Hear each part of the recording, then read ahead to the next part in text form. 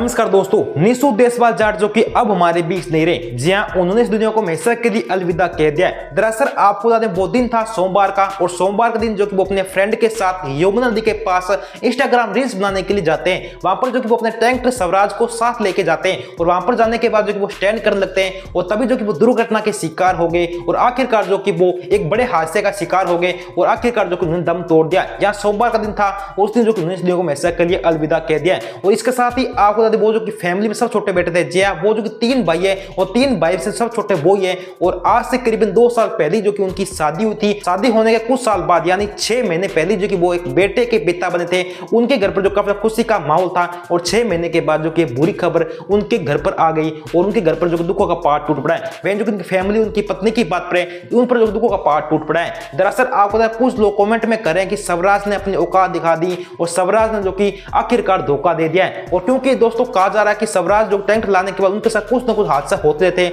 कभी जो कि स्वराज का टैंक टूट जाता टैंक का जो टायर था, वो फट जाता था। जो लगातार जो उनके साथ हादसे होते रहते थे, वे जो काफ़ी लोग कमेंट कर रहे हैं कि स्वराज ने आखिरकार अपनी औकात दिखा दी। तो आपको क्या लगता है ज़रूरत है? अगर आप चैनल पर पहली बार चैनल को सब्सक्राइब वीडियो को अभी लाइक कर दीजिए और हमारे चैनल को अभी सब्सक्राइब कर दीजिए, ताकि निशु से जुड़ी जो कि कोई भी न्यूज़ आती है, सामने निशु भाई से जुड़ी, मैं आपको सबसे पहले बता दूँगा। तो चैनल को अभी सब्सक्राइब कर दीजिए।